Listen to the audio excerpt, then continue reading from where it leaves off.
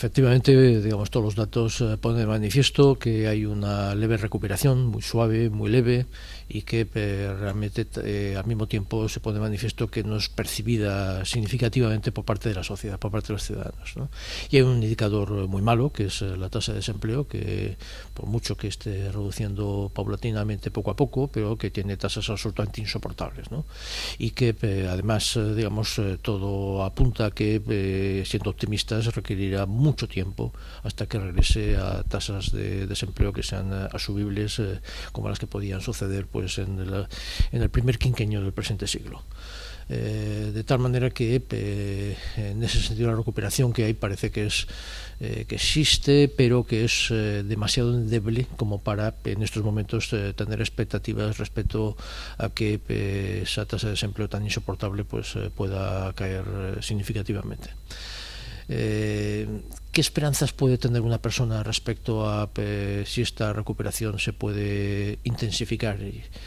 Eh, creo que es difícil, es muy enormemente difícil contestar a esta pregunta. Creo que a todos nos gustaría contestarla y contestar que las esperanzas fueran fuertes, pero yo creo que en economías eh, que somos economías muy abiertas, que estamos abiertos al exterior, donde una, eh, donde una parte fundamental de nuestra actividad económica tiene que ver con nuestros flujos de comercio con el exterior y cada vez, eh, digamos, con un peso mayor de los mismos. Eh, la coyuntura en un país depende fundamentalmente de cuál sea la coyuntura internacional. Y en este caso concreto, si estamos pensando en el caso español, eh, dado que compartimos un espacio económico y monetario común con un conjunto de países europeos, eh, nuestra, eh, nuestra economía depende crucialmente de cuáles sean las políticas que se implementen en, en el conjunto de la Unión Europea. España no puede, no tiene, justamente porque forma parte del club,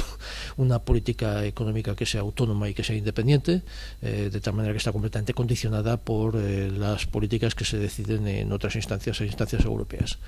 Eh, por tanto, depende fundamentalmente de cuál sea la política monetaria que se implemente por parte del Banco Central Europeo y depende también de eh, cuáles sean las reglas sobre, eh, sobre las políticas fiscales que se establecen, en, eh, que se establecen también en Bruselas. Eh, todos sabemos que hay percepciones muy distintas respecto a cuál puede ser la evolución que pueden llevar a cabo este tipo de políticas. Eh, respecto a la política monetaria, eh, el Banco Central Europeo hasta hace nada eh, ha tenido un comportamiento muy alejado del comportamiento que han tenido otras economías que han sido comportamientos muchísimo más expansivos, que sería el caso de la Reserva Federal Norteamericana o el mismo Banco de Inglaterra, eh, que eh, les ha permitido eh, el tener tasas de crecimiento claramente mejores que las europeas. Esto es, sería absolutamente fundamental. Eh, que fuera así y eh, habría que confiar en que Mario Draghi, que eh, posiblemente eh, él sí que le gustaría poner en marcha políticas mm, expansivas del quantitative easing, sin embargo, pues digamos que pueda tener éxito dentro del Consejo del Banco Central Europeo y que realmente las pueda llevar a cabo sin que, digamos, se generen tensiones que la puedan, digamos, que la puedan invalidar. Eh, esto es un tema que yo creo que es absolutamente, absolutamente fundamental. Eh, objetivos de tasas de inflación eh, tan bajas como el 2% en los contextos en los cuales nos encontramos eh, realmente no son, no son sostenibles. Eh, digamos, los objetivos que tenía que tener Europa sería de una mayor tasa de inflación. Eh, yo no promuevo para nada, obviamente, políticas inflacionistas como tal, pero en situaciones, eh, digamos, de un crecimiento casi plano y con tasas de desempleo tan eh, considerables, eh, sin duda alguna, pues es preferible que haya un poco más de inflación, pero que haya más crecimiento económico. Esto lo sabemos desde hace mucho tiempo, las famosas curvas de Phillips que, que surgieron, eh, digamos, allá por los años 60 o anteriores, digamos, ponen de manifiesto, digamos, que, que realmente pues que puede haber un trade-off entre inflación y tasa de desempleo y sería cuestión de ir a otro punto de la curva de Phillips que nos permitiera eh, tener escenarios mucho más favorables. Eh, después, eh, la propia Unión Monetaria tiene un problema de la simetría del comportamiento de las cuentas exteriores de los países que la integran.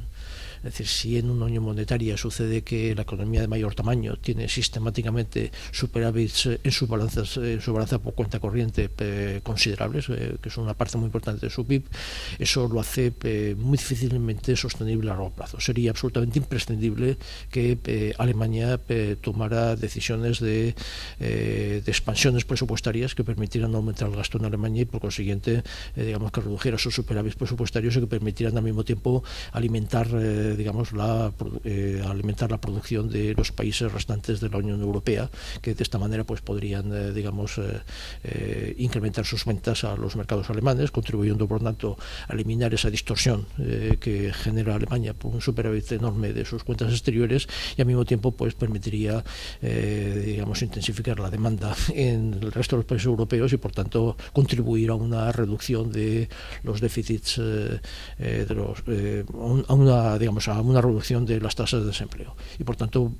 contribuiría a converger realmente las diferentes países